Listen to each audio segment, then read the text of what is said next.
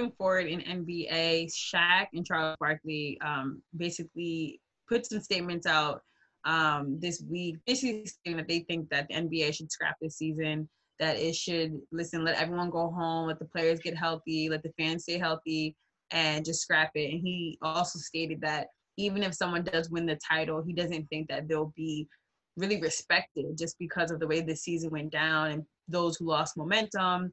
That he just thinks that you know it should be scrapped. So some people and some articles said that you know he he may have lost some fans from this comment um, because some players like yo we just want to play like what do you mean scrap it? Um, so what are your what are your thoughts on this? You want to go first, Eric? Yeah. Um. So I, I agree with a portion of. I, to me, there is no asterisk if you win a championship. Um, we've seen teams win in a strike shortened season. Doesn't matter. Um, there's so many elements that go into a championship season. Almost every championship, you could find a way to put an asterisk next to it. Um, there are plenty of people who feel like when the Warriors won their championship, they caught a lot of breaks with injuries. Are we putting asterisks next to teams who win because of injuries? No. But I do agree. I think we're getting close. Not quite there, but I think we're getting close to a point where it might be time to say, you know what? It's a lost season. Um, I think there are yeah. far too many moving parts. We got to keep in mind that there are a lot of guys. In order for this to happen, there are going to be some some teams that are going to have to go into some form of isolation and quarantine where they're going to be away from their families as the rest of the season plays out. I think that's very tough to ask of, of guys to do. Um, I also would not be surprised if there becomes you won't see the LeBrons, the the megastar say this, but I wouldn't be surprised if you see that next tier of superstar who says it's not worth the risk and I'm not playing. And when we get to that point, that's when it gets dangerous because, you know, if a team like Portland doesn't have Dame Lillard, like, are they really a playoff team? You know what I'm saying? So I think we're reaching that point. We're not there yet, but I think if we get into mid June and we don't have some sort of resolution, we might have to say, you know what, it's time to scrap it. It's time to start preparing for next season, and let's just let everybody stay home and, and stay healthy. Yeah. Well, the big the big dogs they're ready to play because they already they had they had the uh, they got on the conference call LeBron, Giannis, Kawhi, Chris Paul. The top the top dogs already got on the call. They ready to play. As far as the fans go, the fans ain't gonna be there anyway, so they'll be safe regardless. So that one, you know, you kind of X that off off the list. Um, but as far as the season goes, man, nah, you got it. You got if you can have it, you got to have it. And like you said, there ain't no asterisks because at the end of the day, they're gonna go back in. It's gonna be the same thing. The teams that was gonna make the playoffs, they still gonna make the playoffs. Like I don't see nobody that was supposed to make the playoffs falling off just because we had this, uh, I guess, month and a half, two months off or whatever from from actual uh, gameplay. Nobody's just dropping out and they're not gonna make the playoffs. So if even if you start right back now, it's going to be the same thing. And I, you know, I'm the players want to play. Most, I'm pretty sure even even the lower tier ones they want to get out there because at the end of the day, that's your check right there too. At some point, if you're not playing, that money stop coming in. So even the low tier guys, they want to get they they they contracts fulfilled. I no, I I think if if they took a poll and they said, you know, how many players do you think want to play? I would easily say 80, 85 percent. I think yeah. there's a small number of guys who probably are cautious about playing. Um, but we got to remember, reasons. right? We we've got to remember the the numbers haven't started to curve anywhere. So yeah. you know, again, what are the logistics like for this to happen? Are we putting all the players in one city and saying, "Hey, we're playing all the games here"? Are we still expecting guys to travel city to city to play? Like there have been a lot of different um, ideas floated around as far as maybe you set up two quote unquote campuses where you have uh, eight teams sitting in Orlando and they all play out of that location and another eight teams in Vegas. But even with that, like I said, there's still issues you got to figure out because if if you're telling me I've got to be away from my family for the next two and a half months to play these playoffs, all right, get it. That's my job. I've got to do it. But then are you also telling me that I can only stay within the, the, the confines of that facility? I'm not going to be able to go out either. Like that's the other tough part in this too, because what are the logistics like? If you're telling me we're putting eight teams in Las Vegas are we saying that none of these teams are ever going to walk around Las Vegas and do the other things that are going on within that city? Because keep in mind, their mayor has already come out that they want to reopen the casinos and they want to reopen that nightlife over there. So you're you're putting other people at risk now. That if I put you in a city that has opened back up, I can't force you to stay in your hotel. I can't force you to stay within the, the, the basketball facilities. And now I got to run the risk that you might have been out at a restaurant or you might have been somewhere and come in contact with somebody who does have the virus at the end of the day, we're still not open. So saying to resume the, the, the season, we don't even know when, when we're going to resume the world.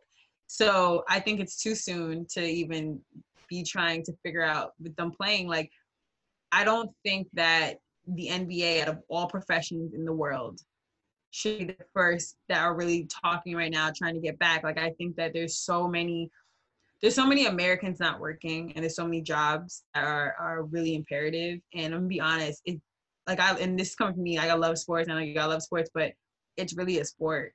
Like and like you know, and I and this sounds hypocritical because there are people that work at these stadiums and stuff that need to be put back into work as well, right?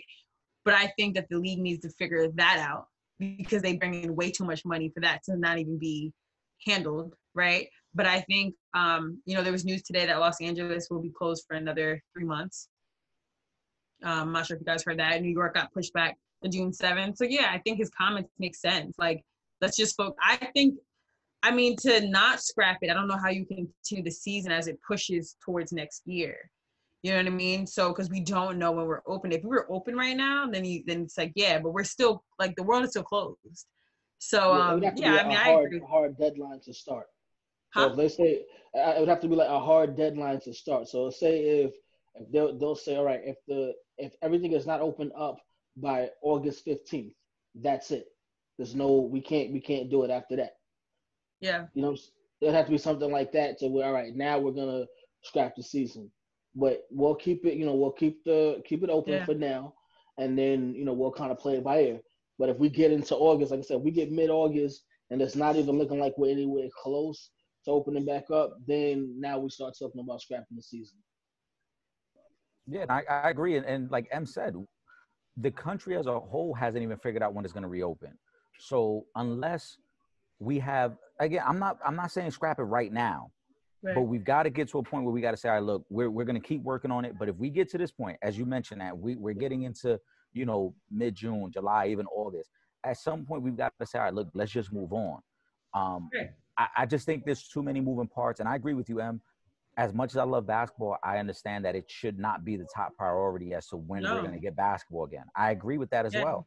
I think that, you know, yes, there are people's livelihoods who depend on it. And we're not talking about the millionaires and the upper echelon players. You know, there are certain people who are in our field uh, and media who need sports to be back so that they can keep putting out content and keep receiving a check. You know, no, but it's it's true because even ESPN has openly said that they don't know how they're going to move forward with their personnel if there are no sports. You know, they've got Yeah, they've got time slots that are dedicated to basketball. That if there's no basketball, what are we paying you guys to be here for?